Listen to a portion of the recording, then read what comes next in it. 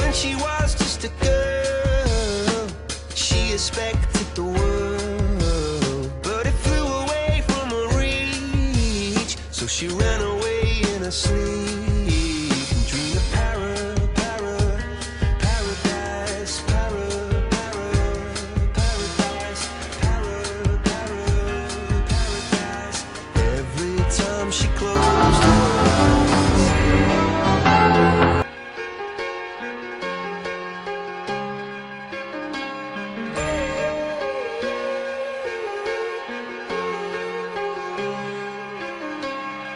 she was just a girl, she expected the world.